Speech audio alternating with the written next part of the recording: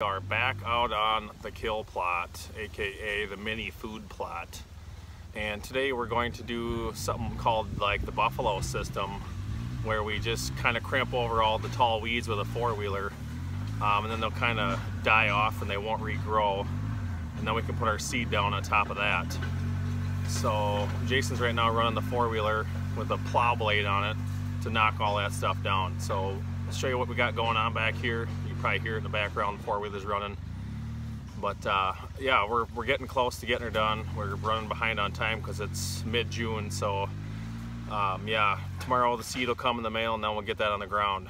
So more coming for you guys.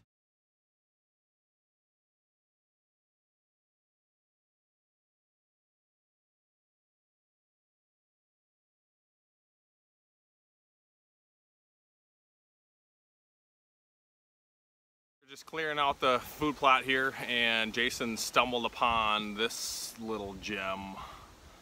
Yeah, uh, how nice would this guy have been to see in this fall?